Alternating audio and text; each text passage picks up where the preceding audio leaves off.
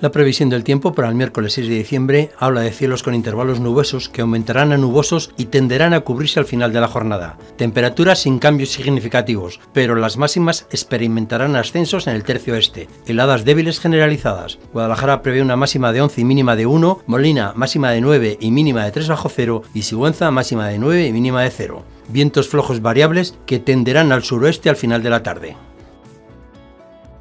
La previsión del tiempo para el jueves 7 de diciembre habla de cielos cubiertos con lluvias débiles y chubascos, pero al principio menos probables en el norte y en el noroeste. Temperaturas en ascenso, las máximas de manera más suave en el cuadrante noreste. Guadalajara prevé una máxima de 11 y mínima de 5, Molina máxima de 9 mínima de 1 y Sigüenza mínima de 2 y máxima de 9. Vientos flojos del suroeste con intervalos de moderado.